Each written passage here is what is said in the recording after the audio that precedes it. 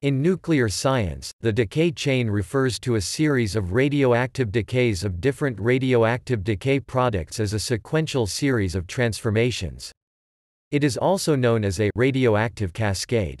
Most radioisotopes do not decay directly to a stable state, but rather undergo a series of decays until eventually a stable isotope is reached.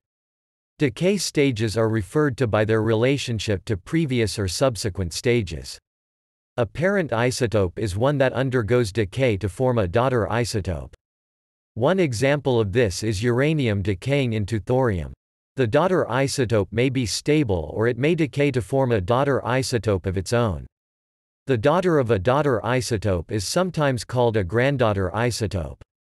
The time it takes for a single parent atom to decay to an atom of its daughter isotope can vary widely, not only between different parent-daughter pairs, but also randomly between identical pairings of parent and daughter isotopes.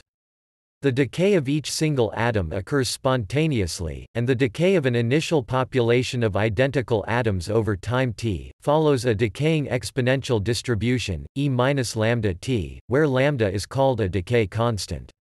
One of the properties of an isotope is its half-life, the time by which half of an initial number of identical parent radioisotopes have decayed to their daughters, which is inversely related to lambda.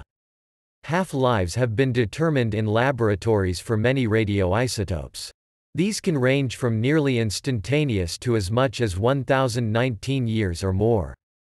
The intermediate stages each emit the same amount of radioactivity as the original radioisotope but each stage releases a different quantity of energy. If and when equilibrium is achieved, each successive daughter isotope is present in direct proportion to its half-life, but since its activity is inversely proportional to its half-life, each nuclide in the decay chain finally contributes as many individual transformations as the head of the chain, though not the same energy. For example, uranium-238 is weakly radioactive, but pitchblende, a uranium ore, is 13 times more radioactive than the pure uranium metal because of the radium and other daughter isotopes it contains. Not only are unstable radium isotopes significant radioactivity emitters, but as the next stage in the decay chain they also generate radon, a heavy, inert, naturally occurring radioactive gas. Rock containing thorium and or uranium emits radon gas that can accumulate in enclosed places such as basements or underground mines.